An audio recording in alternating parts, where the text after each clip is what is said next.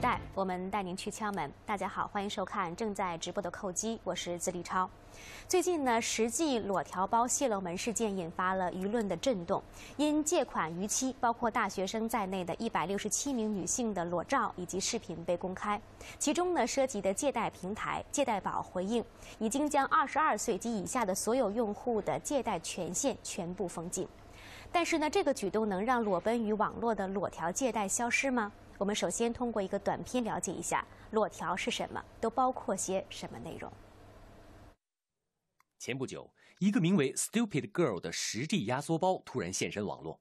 有网友无意间打开，发现里面包含大量女性手持身份证的裸照以及不雅视频。更让人吃惊的是，绝大多数都是在校大学生。呃，当时看到这个的话，我觉得还是比较震惊的，因为借钱的其实主要是在校学生。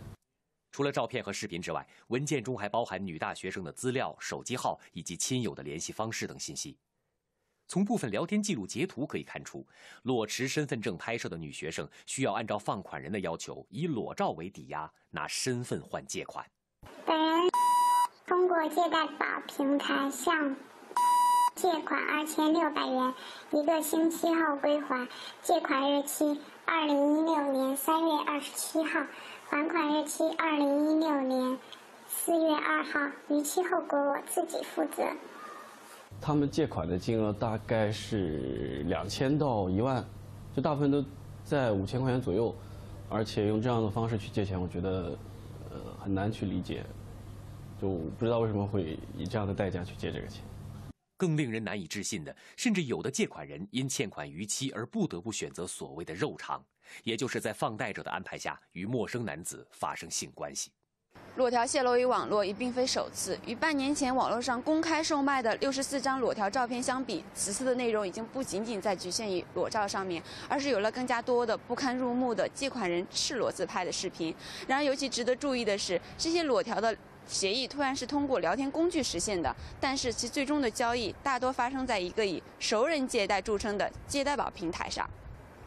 好，我来介绍演播室的两位嘉宾，一位呢就是调查记者周志敏，也是我的同事，嗯，另外一位呢是上海交通大学法学院的副教授黄涛，黄教授，欢迎你，你好，欢迎二位。好，呃，志敏，刚才我看到整个短片呢，其实你参与的程度是很深的，进行了很长时间的一个调查和采访啊。那么整个的这个采访过程大概是怎样的？你了解下来？嗯。其实从今年六月份的时候，我们就发现了有这样一个呃裸条的照片在网络上开始传播。只不过上一次的时候是六十四张的裸照，然后它是在网上公开售卖的，二十块钱。那么当时我们看到的这些裸照里面，有一些是女性的借款人，有一些是男性的借款人。他们基本上里面的内容都是手持着呃就是呃借款人是呃裸体，然后手持手持自己的身份证，然后进行拍照。那么这次。暴露出来的这些信息呢，可能是量更大了，而且在内容上来说，也是比之前就是更进一步。不仅包括着这些借款人的一些裸体的视频，还包括一些呃不堪入目的，可以说，嗯，就是自慰的视频，甚至还有一些肉偿的视频。嗯嗯，我相信哈，其实你在介入这个选题的时候，可能也是蛮触目惊心的。越了解深入之后，才会知道这里面是层层的内幕。可能对于很多这种网络用户来讲，可能点开只是看到了一个一个年轻的这种面孔，或者是裸露的这个身体，但是最后最终哈，这个裸贷是怎样产生的，大家并不是很了解。你先给我们简单的介绍一下这个流程是怎样的？嗯。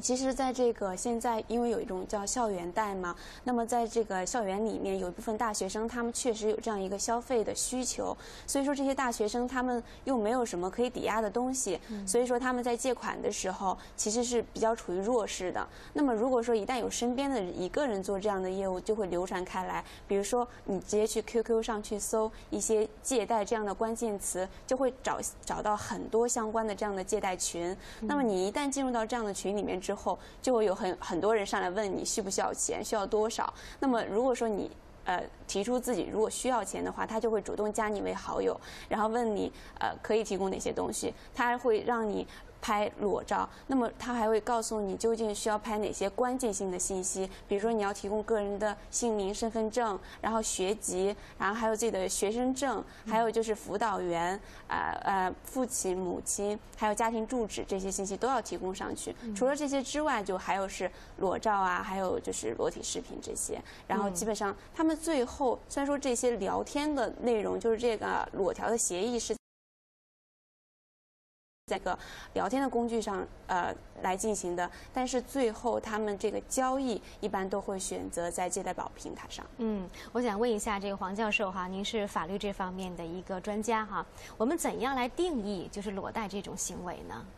嗯，裸贷它首先是一个呃，它的一个。发生的基础是它是一个民间借贷，嗯，只不过是呢，它是呃出借人呢是把呃借款人呢是把自己的裸照啊或者其他的呃相关的这样的一个隐私的这样的一个内容来作为所谓的抵押或者说担保来完成这样的一个呃这样的一个借款的这样的一种交易。那在我们的法律里面，这样的一种所谓的。抵押或者担保方式啊是不存在的啊，它也是与我国现行法律相违背的啊，所以这样的一种民间借贷的这样的一种交易的模式啊，它肯定是不受法律保护的。而且如果出借呃资金的出借人如果拿这些呃所谓的裸照啊呃去进行散播来进来进行散布啊，或者说呃像这个发给呃借款人周边的这个亲朋好友、同事、同学，那这样的一个行为，那是啊显然是也呃。涉呃涉嫌了呃严重的这样的一个治安违法或者说是刑事犯罪了。嗯嗯，像借贷宝呢，我们可以把它定义为是一个也是一个 P to P 的平台，对吧？是属于这个民间的这样一个借贷的平台。我想知道的是，就这个这种运营的方式哈，是从啊其他的这个运营方式拷贝过来的，还是自己原创的？据我所知，借贷宝它的一个。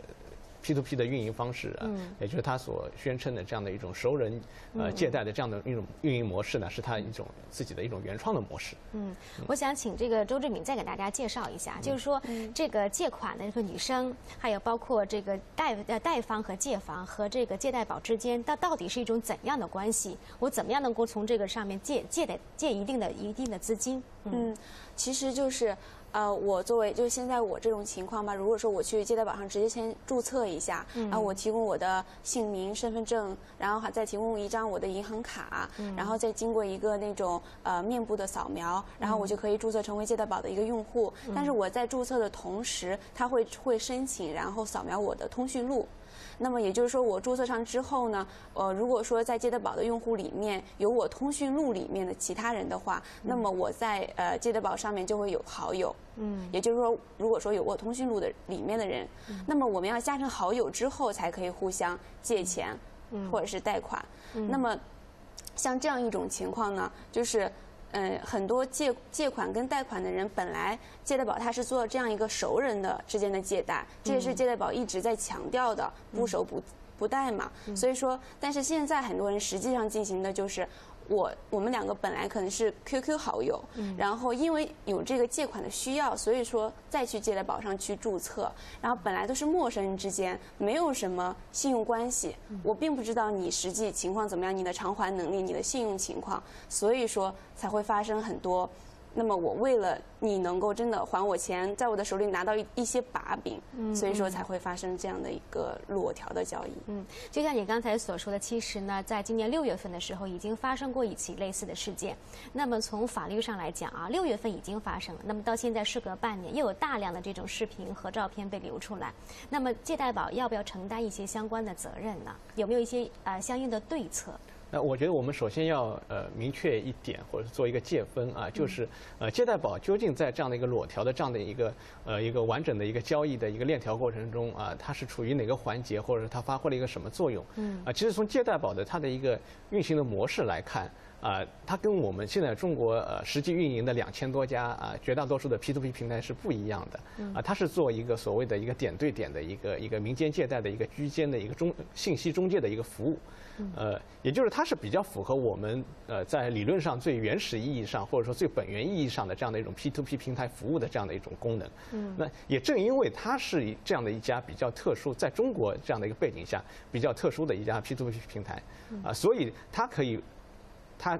结果被这样的一个裸条的这样的一个交易者利用了，嗯，来作为他们一个资金的一个通道，一个一个一个渠道。事实上，我们知道啊，借贷宝它本本身是没有社交功能的，啊，它是而且在它的一个交易过程中，理论上来说是一方啊出借方是匿名的，呃，所以。呃，裸条的一个完整的交易，它肯定不是通过借贷宝这样的一个平台来完来全部的来进行的，嗯，它都是通过线下或者说通过其他的渠道已经约定好了这样的一种交易方式，已经约定好了这样的一个利率的水平。然后只不过是通过借贷宝这样的一个平台来完成最终的一个资金的交付。嗯。啊，但是当然，这个呃资金的出借方也当然他也希望利用借贷宝平台所提供的一个一个预期债务的这样的一种催收服务。嗯。啊，所以基于这些原因啊。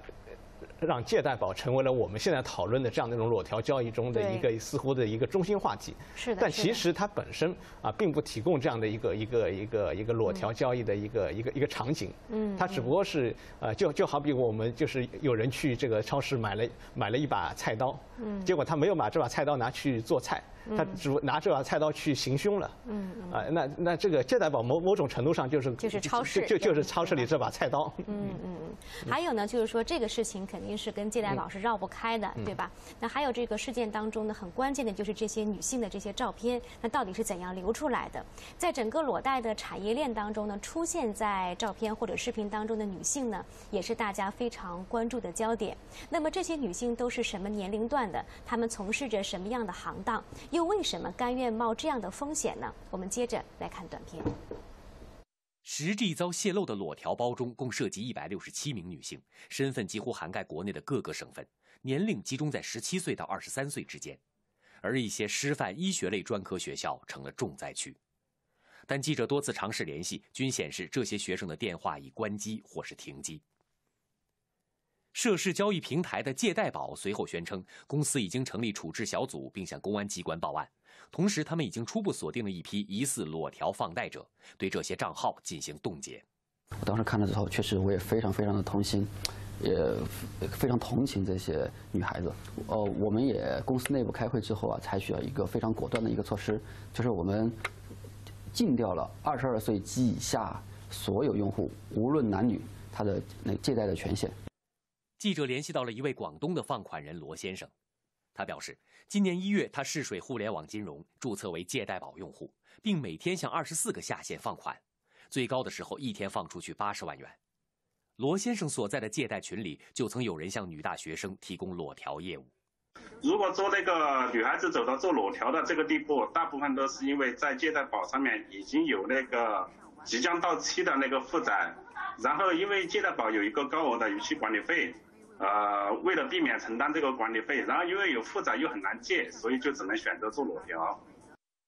嗯，这边我看你接触到的都是放贷人哈，像有的这个用户，他一天可以最多可以放贷是八十万。那么借钱的这些人有没有接触到呢？嗯，这个借款的人此前也有接触过。嗯嗯，是怎么样的一个情况？其实这些借款的人，他们之所以会冒这样的风险借这样的钱呢，一个方面是，比如说他是消费类的。那么现在大学生里的很多女性呢，她确实非常有这样的一个消费的冲动。比如说有的女生她特别希望有一个小小的整容，然后有的就是特别爱美，去化妆买那些比较高端或者奢侈一点的化妆品。还有一些比如说想买电子产品，像苹果手机啊。那么除了这个消费类的之外，还有一些是做创业类的。她是在做生意，那么有的女生她可能就没有想到后面这一系列的陷阱。她最开始做的时候，只是觉得，那么我先借这么几千块钱，然后我这个货我能进到手之后，我把这个货一旦能卖出去的话，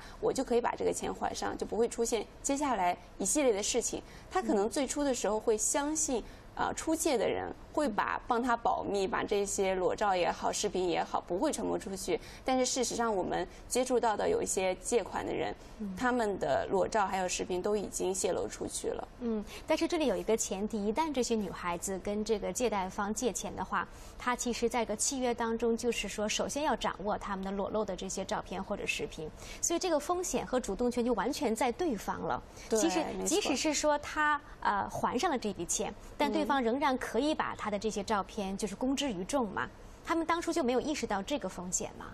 所以其实，呃。我们可以说，你是说，比如说，他是我们可以理解成大学生，他真的是天真，还是说他根本不在意自己的这些裸照还是视频呢？根本没有这方面的一个意识，不觉得自己的这样一个赤身裸体的这样一个视频传播到外面之后会感觉到羞耻。其实并不是这个样子的，他们的这个视频。呃，如果说传有的有的这个受呃借款的人嘛，他们的视频也已经被发到发到了他自己的家长的手机上，所以说就是在南京，就是最近的时候，南京警方不是已经破了一个案案子嘛，就是这样一个呃裸条借款的女生，然后她的视频还有照片被发到了自己家长还有朋友的手机上，所以说。呃，现在已经有这样的事情发生了，然后这样的女这个女孩子她也是心理负担呃压力特别的大，可能就呃会有自杀的倾向啊什么的都有。嗯，那么你所了解的现在公布出来的一百六十七名女性啊，她全部都是在校大学生吗？是怎样一个情况？对这一点，我们一定要强调一下，这个一百六十七名全部是女性，但并不是所有的都是女女大学生，嗯，而且有她最小的年龄是九九年的，嗯，那么九九年到现在也不过是十七岁，最大的有六九年的，嗯，我们可想而知，肯定不是大学生，而且从职业上来说，有的人可能是呃做那个医院里面。药房里面的工作人员，也有的是在酒店里的前台，还有的是在公司里面，就是工厂化的这种流水线上的工人。嗯，其实种类是很多的，不能仅仅局限于女大学生。我觉得我们每次说裸条的时候，都把它跟女大学生来挂钩的话，对于女大学生这个群体也是很不公平的。可能他如果打上女大学生这个标签，更容易吸引公众的眼球。对。但是无疑来讲哈，他们是做成功了，因为确实吸引了很多舆论的关注。那么坊间的舆论呢，多数都是指责裸贷的女性，认为她们心智低下、缺乏常识、丧失羞耻感，不值得同情。那么接下来呢，我们来连线一位知名的女权主义者，是广州新媒体女性网络负责人李军。李老师您好。哎，主持人好。嗯，我想来了解一下啊，您怎么来看待现在从这个坊间啊道德层面上对这些女性的谴责？我我我觉得这种谴责很没有意义。首先，我觉得这些呃算是滥用借贷这个呃途径啊，这个女女学生她们跟男生其实。跟那些借贷的男生没有什么区别啊，因为我们也看到过男生因为高利贷自杀的那样的新闻啊，那基本上他们都是这样，就是说他们有。比较旺盛的消费需求，但是没有足够的钱，然后呢，他们又没有征信记录，所以呢，正规的渠道比较难融资，所以呢，他们对借贷的风险认识不足，也可能，就像刚才刚才那位嘉宾说的，就是可能对自己的一些小生意的经营风险也是认识不足的。那那确实可能是有部分的，其实刚才你们都讲过了，所以我觉得呃，比如说女大学生她被她当成一个媒体消费的标签，但是这种标签其实也是。这些希望用性交易来剥削债务人的贷款者喜欢用的市场推广的标签，嗯，所以，对我觉得很有意思，就是好像这些站在道德高地来谴责他们的人，实际上是在跟这些加害人站在同一个位置上，嗯，因为其实你要说消费的话啊，就说。消费不是一个女生独有的问题啊，因为淘宝的那个数据，呃，有提到说，男性购买的行为里面用于个人消费的比例是更高的。那你要说裸条它是以尊严换贷款的话，那实际上高利贷的催款的手段，他们惯用的手段就是羞辱跟骚扰，是剥夺人的尊严。所以，其实所有的高利贷的债务人，他们他们都是在以尊严来换贷款的机会。所以，我我不认为说这些女生有什么特殊性，她们被谴责的特别厉害，是因为社会对女性的贞操看得特别重，认为裸露身体就是一个特别严重的道德问题。所以，呃，那反过来呢，其实我们这种认识呢，它会让这些女生处于一个更加脆弱的境地。那她们可能就因为害怕这些照片、呃视频被放出来，她不得不去选择所谓的所谓的肉偿。嗯，呃。我我觉得对这个社会的反应是不对的。比如说，我记得早年刘嘉玲她她被黑社会拍的那个裸照，嗯，被周刊放出来之后，那香港的演艺界选择的方式是支持她，然后最后刘嘉玲自己也出来了，所以所以最后就是说这个这个结果是非常好的。就是我们要我们要针对的是真真正的这个做错了事情的人、违法犯罪的人，而不是一些女生。我们现在很少看到这些女生出来发声，为自己维权。啊，也没有办法对外求助，我觉得就是因为这种出于守贞的这样的一种道德观，他对就是谴责受害者这样的一边倒。嗯，那您怎么来看待呃裸贷的本质呢？我觉得我们首先，我们应该把这个裸贷的本质放在这个放贷人身上吧，就是他们把这么多人的那个裸照传到互联网上，那从法律上来讲，他涉嫌传播淫秽物品吧，还有就是呃，他乱传别人的个人信息，然后他是侵犯这个呃，就是公民的个人信息，是不是？然后呃，打电话骚扰啊、威胁啊，这些可能是涉嫌，就是治安法可能也会涉嫌就是敲诈勒索之类的，还有就是可能。在对这些女生的行为上面啊，就是说可能是强奸罪，或者是引诱、介绍卖淫，甚至是组织卖淫。那我们现在就很少讨论这些涉嫌违法犯罪的人跟他们的行为，然后就不断的聚焦在这些女孩的身上进行道德谴责。所以我觉得这个社会真的是对女性很不很不友善。那实际上放出一个，呃，是十 G 吧那个文件包，它涉嫌这么多罪名啊，那我们我们非常让人。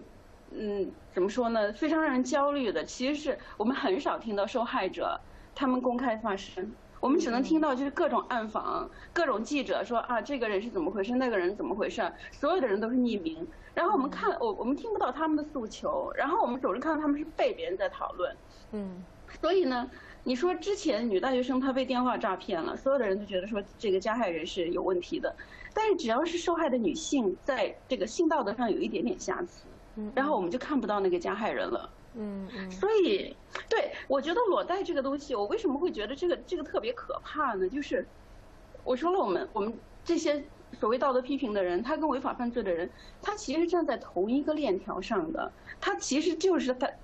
我们的关注，我们对这些裸照的关注，对这些女孩的批评，实际上我们就在他们的产业链当中。嗯。那因为因为女人的。性片面的被这种道德的规训啊，我们不认为男人需要需要这样，呃，什么饿死事小，呃，世界事大，所以就是这样，女人的性就变得稀缺，嗯，然后让她那个市场的需求变得特别巨大，所以她很容易被商品化，对。正是因为对，正是因为这个道德的性道德针对女性的性道德存在，所以女性的性才可以被利用来作为资本增值的一个工具。你看，男的长得再好看，他很难通过裸条来借钱，对不对？嗯嗯。所以。我觉得就是说，我们我们如果继续来进行这样的道德谴责，我们实际上是不断的在生产裸贷，以及不断翻新的借由互联网或者新的技术手段或者新的那种那种呃名目繁多的创新，然后来对女性性进行这种剥削跟侵害的这些犯罪。好的，谢谢李老师。嗯，我相信刚才你们两位也听到了他的这个见解啊。那就我们现在抛抛掉这个法律层面的这个指责啊，呃，就抛掉这个道德层面的指责，法律上可能会触及相关的哪些呢？这个呃，黄教授给我们来做一个解释。这个呃，其实刚才也提到了，就首先这样的一个呃以裸裸条为呃所谓担保或抵押的这样的一种一种一种借贷，它是不受啊法律保护的。嗯嗯。呃，其次，这个资金的出借人如果要拿这样的一个。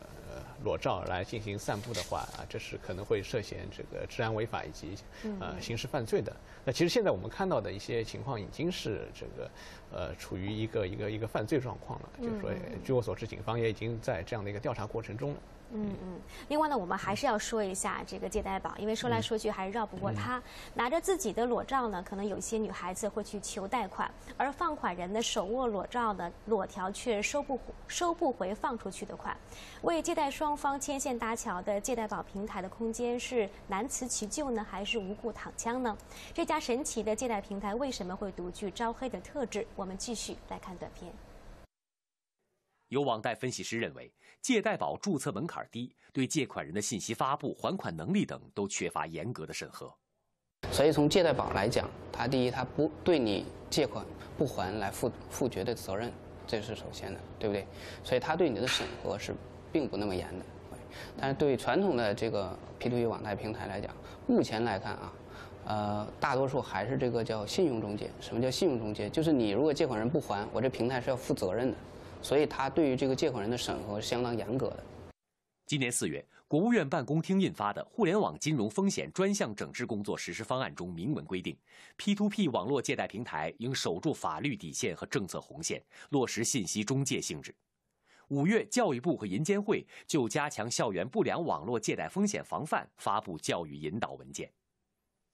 从暴力催收、裸条照片，再到如今的不雅视频，近年来网贷平台频频被推上了舆论的风口浪尖。专家指出，其中既暴露了互联网金融平台野蛮生长的乱象，也凸显出整个社会征信系统的建设缺位。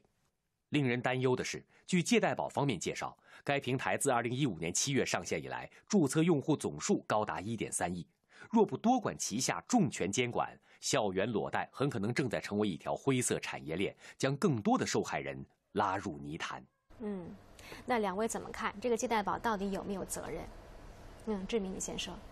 我觉得借贷宝是有部分的责任的。嗯，首先这个裸条的借贷这样一种呃这样一种交易，它为什么仅仅是呃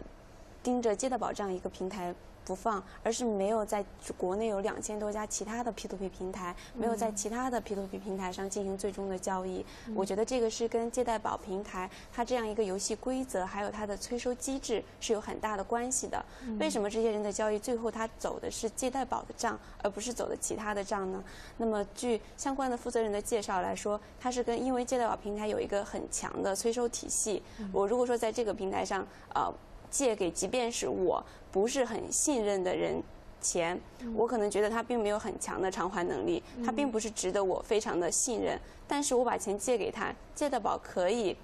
具有强有力的催收体系帮我催回来，那我就不会特别的担心嘛，我就会选择借贷宝这样的平台去做这样的事情。嗯，那么黄教授您怎么看呢？他有没有责任呢？呃，我发现，在我们现在最近讨论的这个裸条的这个事件中，有很多人，啊，躺枪啊，包括刚才讲的女大学生躺枪了，嗯，呃，校园贷躺枪了，嗯，那包括借贷宝平台在内的这个互联网金融也躺枪了，嗯，呃，其实呢，就就好像好比我刚才的一个比喻，呃，呃，超超市卖出去的刀，啊，你可以拿这把刀来来来做菜，也可以拿这把刀来行凶，嗯，呃，在一个互联网金融这样的一个平台上啊。在借贷宝这样的一个平台上，它每天发生无数的交易，呃，如果你让他去呃审核每一笔交易，它是否啊是呃完全合法的，是不是完全这个没有任何法律瑕疵的？这就好比我们要求超市卖的它每一把刀，你都要去做呃做做完全的这样的一个审核，就是你到底买我的刀去干什么？那如果这样做的话，那超市没法经营了，那这个互联网平台它也没有办法经营了。啊，所以说对于一家平台来说，呃，如果我们去要求它呃做一个一个百分之百的审核，这个本身是跟互联网的这样的一个产业是不符合这样的要求不符合的。而且事实上，呃，刚才周记者讲到了这个问题，就是为什么这些呃裸条的交易，它为什么没有选择目前我们现在存在的其他两千多家 P2P 平台，而选择借贷宝？那恰恰是因为这其实反而是说明了借贷宝这个平台是我们目前这个金融监管当局所要规范的这样的一个 P2P 市场中，它相对来说。更加符合这样的一种监管标准的，因为它做的是一个呃纯粹的一个信呃，基本上是在做一个信息中介的业务，它不像其他的 P2P 平台是在做信用业务，在平台上面呃拉存款。啊，卖理财产品啊，卖证券化产品，那那些 P to P 平台两千多家 P to P 平台，它自然没有办法被这个裸裸裸条的这个交易者裸贷的这样的一种交易模式所利用啊。但是啊，借贷宝平台这恰恰因为它相对来说在金融监管上有一定的规范性啊，所以它被这样的一种裸贷的一个交易者来利用，来作为了一个平台。它就成了那把超市卖出去的菜刀了。那么，按照您的说法，实际上在全国两千多家这样的一个 P2P 平台上，借贷宝是最符合相关的规定和要求的。是相对是比较符合的。嗯，相相对其他两千多家，它是这个这样的一个符合的一个程度是很高的。嗯，但是志敏在整个采访啊调查的过程当中，可能也会发现，尽管是它符合相关的一个规定啊，甚至它的这个规格还是比较高的，但可能还会有一些漏洞和问题。那么你发现的这些。漏洞是什么？它是非常符合，就像黄教授刚刚讲到的，它是非常符合现在呃国家相关部门对于 P2P 平台的这样一个整合的方向。比如说，它就是要做单纯的信息中介。对。但是如果做单纯的信息中介的话，它就是需要这些。出借人跟借款方，他都要有一个非常高度自律的这样一个意识。如果说大家没有这样一个高度自律的意识，那么就需要一个社会征信的体系，有一个相对成熟完善的社会征信体系。我在借给陌生人钱的时候，我就有一个基本的判断跟考量，他是否能够还这个钱。但是现在，这个体这个呃信息平台，它的这个现在的搭建是非常的超前的，因为我们的这个社会。呃信用的体系还没有建设起来，所以说这个 P2P 这样的信息中介平台现在反而比较容易出现很多具有争议性的。